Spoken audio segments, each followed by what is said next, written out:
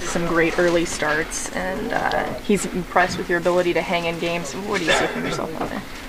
Um, I mean, I gotta do a better job in the first inning, obviously, but um, I mean, I did I did good job uh, battling, and I mean, it's not easy going back out there after first inning like that. So, I'm proud of myself for that. You said you've had some issues locating your fastball. I mean, is that something you're gonna work on, obviously? Yeah, I mean, I think I did a good job of that tonight. It was just there's a couple change ups there early that were not doing much, and I they got some good hitters, and they took advantage of it. It's gotta be frustrating. It seems like runs aren't scored in some of your starts. I mean, are you? Does that frustrate you a little bit?